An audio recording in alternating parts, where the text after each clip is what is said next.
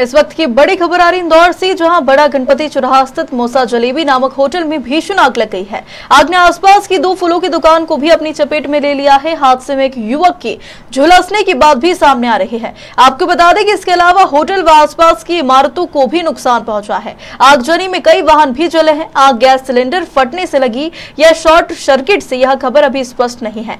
देखिए घटनास्थल का हाल सबसे पहले खबर मध्य प्रदेश पर। जी हाँ बता दें, खबर इंदौर के बड़ा गणपति से है जहाँ बड़ा गणपति क्षेत्र के एक होटल में भीषण आग लग गई है। साथ ही साथ आग जने के कारण अफरा तफरी का माहौल बन गया है और मल्हारगंज क्षेत्र के एक होटल में भी भीषण आग लग गई। दमकल की टीम ने आग पर काबू पा लिया है। एक युवक के घायल होने की इसमें सूचना भी मिली है।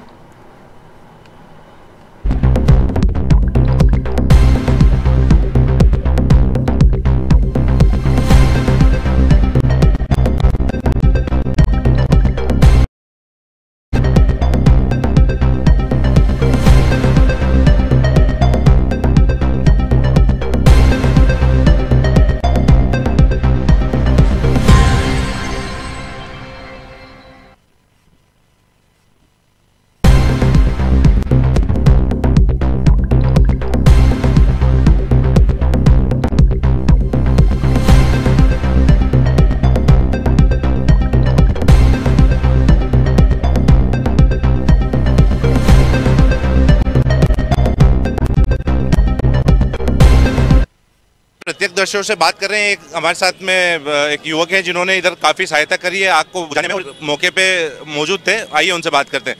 आप इधर ही मौके पर मौजूद थे। सर मैं सामने शॉप पर था तो आग जलने की खबर आई। जो लोग वीडियो बना रहे थे जब दौड़ के आए थे तो गैस की टंकियाँ वगैरह जल रही थी।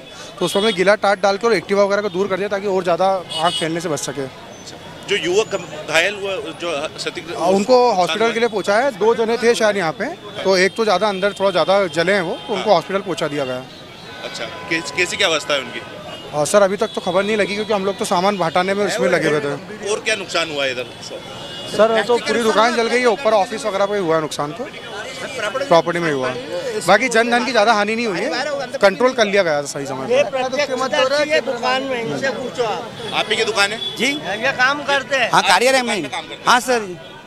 तो यहाँ पे क्या हुआ तो ये सिलेंडर कैसे टंकी से आग पकड़ ली वो किस पे फैर हो गया? तो टंकी भट्टी ने कैच कर लिया वो फट गई वो कुछ नली फटी। है। था वो भट्टी हाँ टंकी नली नली फटी है टंकी नहीं फटी। अच्छा। हाँ। शॉर्ट सर्किट होने के बाद भट्टी ने आग पकड़ ली और वो वापस देखो प्लास्टिक ने आग पकड़ ली उससे अच्छा। और प्लास्टिक के कारण पूरा प्लास्टिक प्लेट जला हुआ है। उससे पूरे एसी में आग लग गई वहाँ जो वहाँ हम नाश्ता कर रहा था वहाँ वो चिंगारी निकली और एकदम भड़कता बस प्लास्टिक को कैच कर लिया उसने। प्लास्टिक को कैच करने के कारण से आग लगी हुई है। तो जैसा कि आप इधर देख रहे हैं कि एक युवक यहाँ पर घायल हुए हैं। अभी उनको एम में भर्ती कराया गया है। बता रहे हैं कि हालत गंभीर है उनकी। हाँ। और यहाँ पर अच्छी बात यह है कि जनधन की ओर एक मिनट के लिए आया बस। यहाँ पे बस टंकी फूटी। इनको नहीं मेरे को नहीं मालूम यहाँ टंकी इनकी लीकेज हो रही थी। और इन लोगों को लीकेज को को करवाना चाहिए ना दुकान वालों को दुकान वाला लीकेज बोलो या तो उधर बोलो इधर देख के बोलो और खा, खाना खा के बस आया। वो खाना खा के आया वो बस एक मिनट के अंदर ये वाली खबर आ गई कि वो जल गया वो। बस एक सेकंड हुआ। क्या नाम है युवक का? वसीम क्या करने यहाँ पर? यहाँ पे काम करता है। हर कहीं। फूल की दुकान पे ही काम करता है। ये? अपना ही है। में। लेगा। काम कर रहा है यहाँ पर? यहाँ तो बहुत सालों से काम कर रहा है यहाँ तो। बहुत साल हो नाम? हैं? आपका नाम मेरा नाम मेरा नाम साबरा है। है मेरा भाई है। हाँ जी। क्या घटनाक्रम हुआ? जी सबसे पहले मैं अंदर आया मैंने पोए लिए भैया से दुकान में गिराक नहीं था मैं ही था बाकी ये दो जने थे दुकानदार।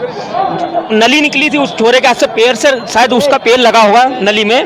नली निकली एकदम आग पकड़ी वो दुकान में तो बाहर भागा उनके सेठ भी बाहर भागे। मैं भी पोया लेके बाहर भागा एकदम जब तक मेरी गाड़ी ना आग पकड़ ली थी। उसको मैं हटाने जाता तो मैं भी जल सकता था, इसलिए मैंने उसको हटाना नहीं समझा। मैंने कि अब जो जयंत शर्मा। यह बड़ा गणपति के पास मौसा जलेबी भंडार में आग लगने की सूचना मिली थी, जिसमें फायर ब्रिगेड तुरंत पहुँचा और आग को कंट्रोल किया। जैसे ही हम आए थे तो यहाँ पे दो एक वाहन सड़क पे भी जल रहे थे। ऐसा बताया गया है कि शायद या तो शॉर्ट सर्किट भी हो सकता है, गैस लीकेज होने से एक टंकी वंकी में भी कुछ नुकसान हुआ है। और एक एक आदमी को भी गंभीर घायल हुआ था जिसको फायर ब्रिगेड आने के पहले हॉस्पिटल पहुँचा दिया गया है। हाँ दो गाड़ियाँ थी सड़क पर अभी उसका पंचनामा बनाना बाकी है। हाँ आर सी पंडित sub inspector fire service Indore. चल बड़ा गणपति चौराहे पर। सर, एक आगजनी की घटना सामने आई, जिसमें एक युवक गंभीर रूप से घायल हुआ है। सर, क्या नाम तक के सामने और क्या कारण रहा सामने? ये बड़ा गणपति पर एक मोसा समोसे जलेबी की दुकान है। इस पर गैस की टंकी की नली में आग लगने से एकदम से आग पकड़ ली, जिससे वो दुकान और उसके ऊपर का हिस्सा जल गया है। तो वहीं पास में फूल का ठेले लगाने वाला एक लड़का मोहसिन, जो उसमें झुलस गया है। मोहसिन नाम है उस लड़के का, उसको अस्पताल ले गए हैं। अभी और उसका इलाज चल रहा है। सर आग लगने का कुछ कारण संभव तो सामने आया अब अभी तो ऐसा कुछ समझ में नहीं आ रहा है क्योंकि पूरा जल गया है अब उसकी जाँच करते हैं जैसा भी होगा हाँ। दो बाइक एक एक्टिवा और एक बाइक जल गई है जो पास में खड़ी थी ब्लास्ट। सर अभी मौका स्थल पे देखा गया कि वीडियो सामने आया है कि कमर्शियल टंकी की जगह घरेलू टंकी का उपयोग किया जा रहा है जो जलीय अवस्था में पाई गई है क्या रेस्टोरेंट संचालक के खिलाफ भी कार्रवाई की जाएगी? जो भी इसके अंदर जिसकी गलती होगी हम उसके खिलाफ कार्रवाई करेंगे।